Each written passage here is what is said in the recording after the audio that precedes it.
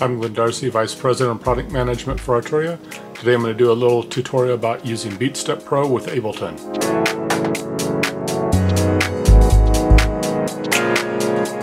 Now we're going to show how to do Mackie control using the, the knobs in the Mackie control HUI modes.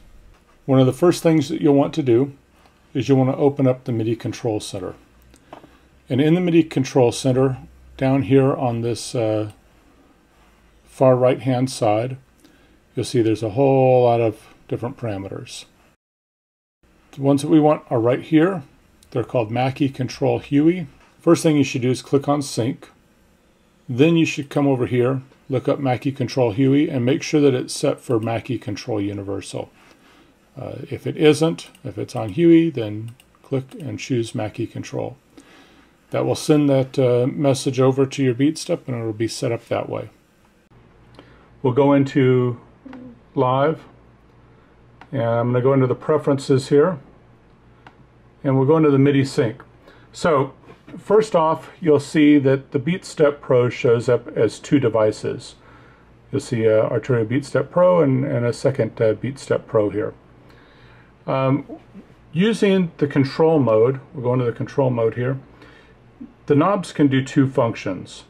They can just send regular MIDI CC controllers, ones that you assign, um, and then you can route those to whatever thing you want using uh, the MIDI learn within uh, Ableton Live here. So if I wanted to, you know, map a, uh, let's map this send to this knob here, I just turn it and it adds that, that knob to it. Um, we're going to undo that though because I have some other MIDI routings. So we'll go back into the preferences. But one thing that you can do here also is by pressing that button, you've got the Mackie control in HUI mode for the knobs. And it really changes the knobs and these buttons when you're in control mode. It also changes the two arrows here uh, by allowing you to do some bank selections. So how do we set this up so that, uh, that the Mackie control can actually work and what does it do? Well, first off, we'll go pick control surface and we'll go down the list here and we'll just go uh, Mackie Control Classic. And for input on this, we're going to choose the second one, the BeatStep Pro Out Editor. So that's the secondary port. And what's going to happen down here is it's going to show that that's your uh, Mackie Classic input. And we're going to use that for sync and we're going to use that for uh, remote work. So I've got sync and remote uh, enabled on that. Also have the output uh, enabled. Now what that's going to allow us to do is when we're in control mode and these knobs, I can now turn these knobs and you can see it's affecting all of the channel levels. So I've got 1 through 8 going here. This can then affect the pan controls. And so it's automatically mapped to uh, to all these these parameters within uh, within Ableton. Makes it uh, nice and fast and easy to use. So we've got our volumes here, we've got our pans here. And this is all great because I can do eight channels, but what if I go wider than that? Well then I can use this button, press it once, and now you can see channel 9, 10, 11, and so on is going to be uh, edited here. If I go back, I've shifted back to banks 1 through 8.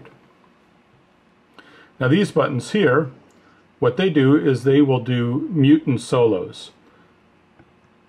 So in this case, it's the enable disable uh, track function. So this is a uh, channel 1, 2, 3, 4. So this is going to be your, your mute for each of these tracks, your odd numbers. You'll see it light up blue on the front panel. You'll see the tracks go off on uh, Ableton. And then the other button here is a solo button. So when I press that, you'll see that the solo highlights in Ableton. So that gives you a lot of, of control very instantly, very fast and, uh, and easy. Now, when you go to MIDI CC mode, maybe I want to use all these knobs for some other kind of control functions here.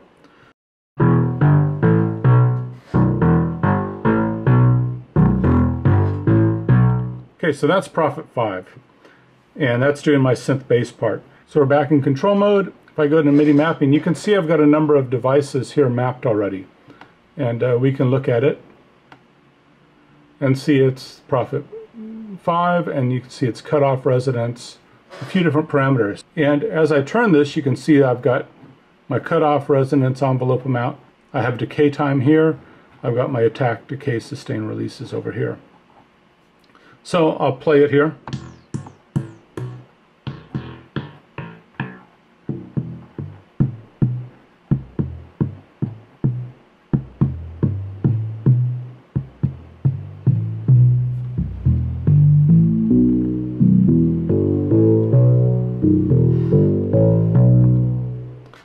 And that's as simple as going into MIDI map, choosing the parameter that you want to map, and turn in a knob. It's really stupidly simple in, uh, in Ableton. They make it really, really nice and, and fun to do. Ableton also allows you to have separate channels and multiple tracks enabled at one time. So it makes a very nice performance kind of tool here. So I can just hit play here.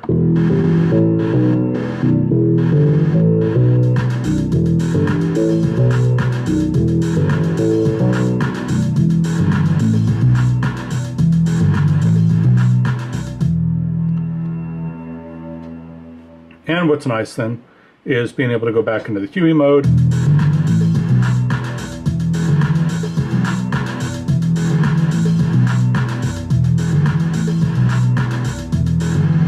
And changing things up in real time, you know, between going between the HUI mode and the CC mode, Ableton uh, and the BeatStep Pro work really well together on this. They make a great uh, companion for each other.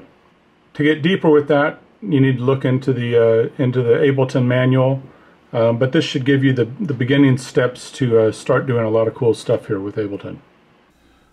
All right, one of the first things that you're going to want to do in Ableton is you're going to want to set up your transports. And you want the transport buttons on the, uh, on the BeatStep Pro to control the transports on Ableton.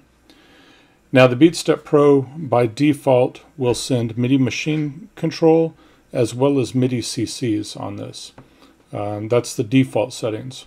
Ableton is one of the few DAWs that I know that does not receive MIDI machine control. So you have to set up the transports via MIDI controls, MIDI CCs.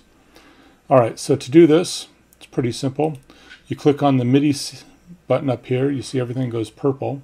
And then you can click on the buttons up here and then you just press the button here. Now, one thing I've got is I'm sending notes and stuff from my sequence. So I'm going to mute out my sequences so that they're not sending anything when I'm doing the mapping. So I click on the stop button and then I hit the stop button. And you see it adds over here the transport stop. Then I click over here on play. I hit play. Then we're going to uh, click on record. All right, now we're going to disable all the uh, MIDI. So now I've got my stop button, my play button. You can see it's uh, playing up here. And I've got my record button. So that's how you map your transports. Nice and easy. Okay, so now we've got our Mackie control surface set up. We've got our transports mapped. The next thing we might want to be able to do is go between internal and external sync. So now we're going to go between either using internal sync on the BeatStep Pro or external sync on it. So I like using the BeatStep Pro as your master clock, but there's times where it just doesn't make sense to do that. So using this in Ableton, we'll show you how to do it. If you want Ableton to follow the BeatStep Pro, you'll have your sync settings to internal, and you just hit your sync button until it says INT. And in your preferences under MIDI sync, on the input here on the BeatStep Pro, you'll click on for the sync. Now, we've got that set up. Now, if I want to, at other times, have live control the timing on this, like I want to control Ableton from a different control surface and I want this to follow along, I want Ableton to send sync. To send sync, we'll click on this output here, sync right there. So you've got sync on the input and on the output, and that's going to allow it to be in either mode. If I want Ableton to follow sync I'm going to have to click on this little EXT button up here. Now, I'm sending sync here. This is receiving. We've got the transports mapped. I'm going to go on and set this tempo to, uh, let's do something like 144. And we can see the tempo up here in Ableton right now is set to 100 BPM. So we just hit play.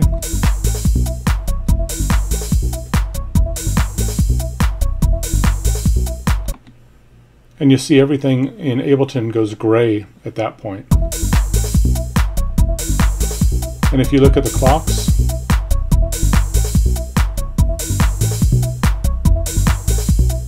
you can see that it's in time with the uh, kick drum there. So now I want to go to internal sync. I just turn that off. On my BeatStep Pro, I press the sync button. I set it to USB.